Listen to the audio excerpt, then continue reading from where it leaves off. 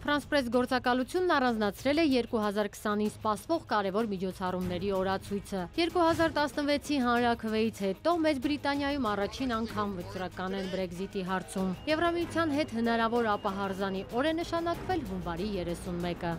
Հունիսի 12-ից 1 ամիս մոլորակի 12 երկրում կանցկացվի ֆուտբոլի Եվրոպայի առաջնությունը։ Հուլիսն ընտրել է նաև ՆԱՍԱ-ն։ Հենց այս ամսին պատրաստվում է ռոբոտ ուղարկել Մարս։ Համարկարգը ռովեր է կոչվում։ Այն թույլ կտա ուսումնասիրել Մարսի մթնոլորտը, երկրաբանությունը, հողերը ու պատրաստել մարդուն այդ մոլորակի մակերևույթ վայրեջքի համար։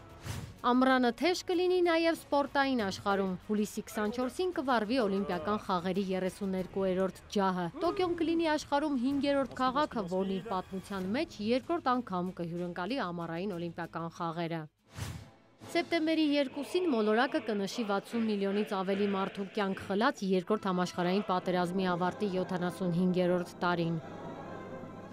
Իսկ նոյեմբերի 3-ին Միացյալ Նահանգները նախագահ կընտրի։ Անկանխատեսելի համարվող Թրամփը կկրկնի նախորդ հաջողությունը։ Միջազգային վերլուծաբանները դժվարանում են հստակ պատասխան տալ։ Փոխարենը չեն բացառում, որ 14 տարվա պաշտոնավարումից հետո Գերմանիայի կանցլեր Անգելա Մերկելը աշնանը հրաժեշտ կտա երկրի ղեկին։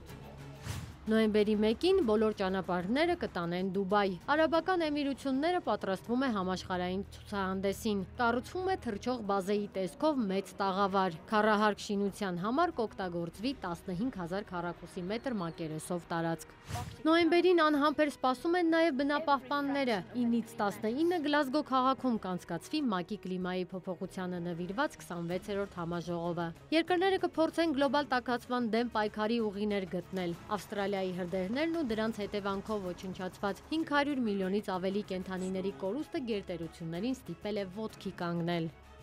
Իսկ նոյեմբերի 21-ից 22-ը Էրիադն իր հարկի տակ կհյուրընկալի G20-ի հավաքը։ Սաուդյան Արաբիան կլինի առաջին արաբական պետությունը, որտեղ տեղի կունենա մեծ 20-յակի հանդիպումը։ Այս անգամ 100-ից ավելի քննարկումների առանցքում 21-րդ դարի հնարավորությունները բոլորին ծառայեցնելու թեման է։ Հասմիկ Արաքելյան, լուրեր։